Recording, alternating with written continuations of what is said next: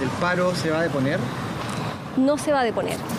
Nos vamos a reunir mañana para continuar con esto. Hasta última hora las reuniones intentaron terminar con la movilización, un paro que continúa pese a la mediación de la Dirección del Trabajo. Eh, los antecedentes efectivamente que están disponibles para poder eh, revisar todo lo acontecido en la, en, la, emergencia y también en el...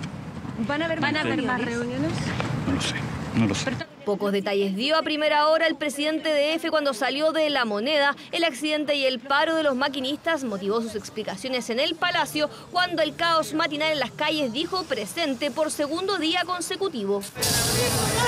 El que comenzó a las 7 de la mañana cuando los problemas provocados por la movilización se sumaron complicaciones en el metro. Los buses de apoyo para reemplazar a los trenes llegaban a la línea 6 que estaba cerrada para todos los pasajeros. Es doble problemática para ellos. Eh, para poder llegar a su lugar de trabajo. Ya nos dijeron que vengamos para acá, que envían buses de apoyo, no pasa nada. Como pésimo porque así llegamos atrasados los trabajos. Los problemas en el metro surgieron por la presencia de agua en estación Bio Bio, mayor presión para un sistema de buses que hace ahora hacía lo imposible para movilizar a los pasajeros, presión que también ejerció el gobierno sobre EFE, a quien le pidió buscar soluciones para terminar con el paro iniciado tras el fatal choque del pasado jueves. Hago un llamado a a la empresa eh, con mucha fuerza y al sindicato que entiendan que esto es algo que se tiene que resolver a la brevedad.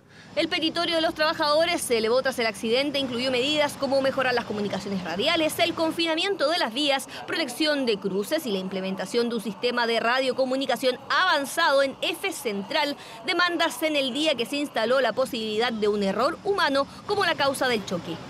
Esta decisión se ha tomado para resguardar la integridad y vida de nuestros socios y pasajeros que se ven directamente afectadas por las actuales condiciones. Todo indica que hubo una falla humana importante que terminó con la vida de dos personas. Y... Los trabajadores plantean que solamente, solamente funcionan con sistemas Em, de llamadas, no de radios puntualmente, que es uno de los temas en materia de seguridad que ellos demandan. Por ejemplo, no están dentro de las causas del siniestro del choque que tuvimos el día jueves eh, y por lo tanto, mi opinión al menos es que ese no es, eh, no debiese estar siendo apuntado como un problema. La tesis del Ministerio y la empresa se plasmó en el preinforme DF. El error fue de la autorización que se dio a los trenes y no el sistema de comunicación, aseguraba el documento. El tren de pruebas habría estado detenido frente a una luz roja y solicitó autorización verbal para avanzar hacia el sur. El sí llegó por teléfono, por lo que avanzó de frente hacia el tren de FEPASA, que con luz amarilla que permitía el desplazamiento se movió en dirección al choque. Pregunto,